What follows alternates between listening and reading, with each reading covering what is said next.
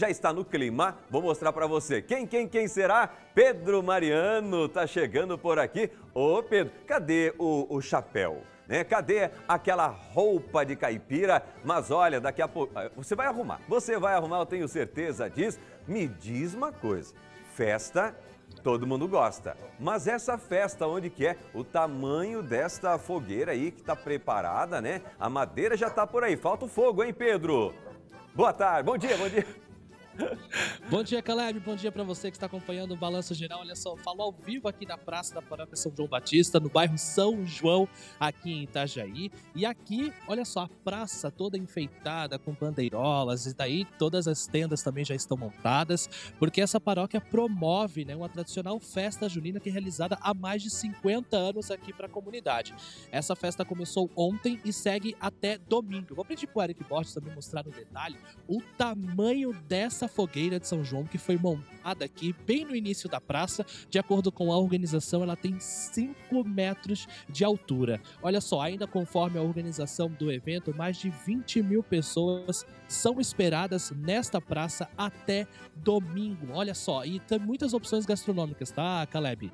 Tem milho, tem cachorro quente, tem pipoca, tem maçã do amor, tem batata, tem pinhão, tem quentão, tem pastel, muita coisa boa, muita coisa boa. São pelo menos ó, 200 pessoas envolvidas na organização e execução deste evento aqui da paróquia São João Batista, que fica no bairro São João, aqui em Itajaí. Eu vou devolver para ti aí no estúdio, porque agora foi só um destaque, foi só aquele esquenta, o spoiler porque depois eu vou voltar lá da cozinha, onde tem um monte de mulher fazendo pão, que também é, é, uma, é um prato ou seja, o pão é tradicional nessa festa aqui da Paróquia São João Batista. A gente vai mostrar ao vivo todos os bastidores desta festa que hoje, hoje sexta-feira, começa a partir das 19 horas. Mas é daqui a pouquinho eu volto aqui no Balanço Geral para mostrar tudo o que está acontecendo nos bastidores da festa junina aqui da Paróquia São João Batista. Volto contigo, Caleb. Pedro Mariano, você dança daí, eu danço daqui. Vamos lá? Vamos lá? Ê, coisa boa! É, gente, ó. Todo mundo aqui do Balanço Geral. Ah, que clima bom! Esse é o Pedro Mariano, sempre com um sorrisão no rosto. Obrigado, Pedro. Daqui a pouco tá de volta. Quatro é dia de São João, sábado. E em Itajaí tem a tradicional festa da paróquia São João Batista. Vamos lá? Pedro Mariano tá chegando. Falou o seguinte: olha, Olha, rapaz, conseguiu roupa de caipira e agora, mas que coisa! O Pedro falou que diz que tem um pão lá delicioso, mas eu sou exigente. Eu quero um pão desse aqui hoje, para eu tomar depois aquele meu café delicioso, hein, Pedro Mariano? Olha, você não prometeu, eu tô pedindo. Conta aí.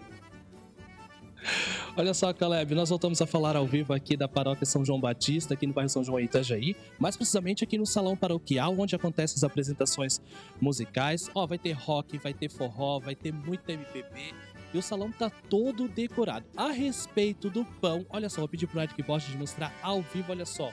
Como prometido, eu prometi mostrar, não prometi levar, mas eu vou tentar aqui com as meninas da confecção, eu vou tentar levar um para ti para você tomar com café ainda hoje. Mas olha só, Aqui na mesa nós separamos pão, nós temos o bolo tradicional aqui da festa da paróquia, que é o milho cansado, que é uma mistura de fubá com coco. Nós temos a cuca, a tradicional cuca, nós temos a nega maluca, nós temos o milho, ou seja, opção gastronômica não vai faltar. Vou pedir pro Eric também mostrar, as meninas são responsáveis né, por toda essa produção, olha só, elas, elas estão envolvidas e até o fim da festa, Caleb, elas pretendem vender mais de 500 pães caseiros e todo esse dinheiro é revertido para a manutenção da comunidade é, católica. Tem gente aqui que participa dessa festa, Caleb, essa festa que é realizada há mais de 50 anos, tem gente que participa há mais de 25 anos, como é o caso desta senhora aqui. Tudo bem? Boa tarde, como Oi, que é teu nome? Boa tarde, Isabel. Isabel, você é responsável pela produção do pão e você participa dessa festa há mais de 25 anos. Né? Isso, somos nós três, a Vera e a Rosa. Gratificante participar? Muito, muito, muito. O Caleb pediu um pão caseiro. Será que a gente vai poder levar para ele? Aí não é comigo. Aí é que aquele menino lá, ó, pode, pode, pode. Pode, então, Caleb, ó, o pão tá garantido pro café da tarde. Muito obrigado, dona Isabel, por ter participado. Sucesso para vocês. E eu vou conversar aqui com o Wanderson, ele que é organizador de toda essa festa e responsável também por montagem, também pela situação financeira aqui da festa. Wanderson, conta pra gente, é uma festa para toda a família, né?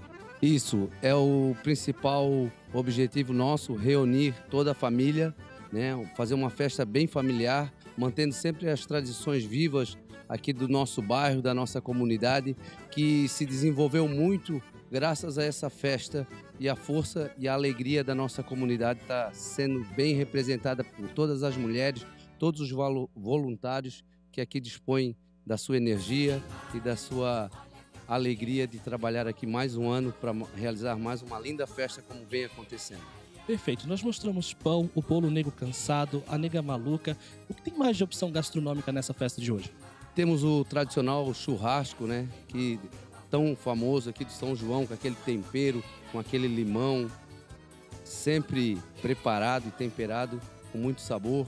Todas as noites agora já temos o churrasco. Esse ano nós fizemos uma uma tem pinhão, tem quentão, tem temos o pinhão, quentão, pastel, cachorro quente e temos brincadeira pra, para as crianças como a lata, a pescaria, que também as crianças sempre gostam bastante. E também a partir de amanhã já teremos às 10 horas, todas as barracas serão abertas. Amanhã e domingo às 10 horas, com música ao vivo a partir da, da meio-dia, já com uma musiquinha o pessoal tomar o chopp. Esse ano também trouxemos uma novidade, o chopp. Aí estamos tá sendo bem aceito e com preço sempre muito acessível a todas, né? A todos, a todos da, da comunidade, a todos da cidade. Aqui temos aí o pinhão a cinco reais e o churrasco preço 65. Então todos têm condições de vir e se deliciarem um pouco com as nossas comidas aqui tão típicas de São João. Perfeito. Agora, festa, só pra gente encerrar, Wanderson, festa de São João não é festa sem fogueira. A gente mostrou no início da edição de hoje, Caleb, é aquela fogueira que tá lá no início da praça, do pátio ali da paróquia São João Batista. É uma, é uma fogueira que tem mais de 5 metros de altura. Ela vai ser acesa e qual vai ser o horário aí? Isso, ela vai ser acesa amanhã às 12 horas, ou seja, meia-noite. E ela tem hoje 5 metros e meio. E Amanhã, então, é o grande dia, né? Afinal, por coincidência, também é dia de São João. Então, chamamos todo, todas as pessoas aí para ver e comemorar esse dia tão importante da nossa tradição católica, que é o dia de São João. Perfeito. Muito obrigado pela tua participação, pelas informações ao vivo no Balanço Geral Itajaí. Caleb, antes de volver para o estúdio, a festa começou ontem, segue até domingo, hoje a partir das 19 horas, amanhã e domingo a partir das 10 da manhã. Expectativa de público a partir, é, por meio da, da organização do evento, 20 mil pessoas até domingo. Eu volto contigo aí no estúdio, meu compadre Caleb, é contigo. Eu vi que chegou um pão aí.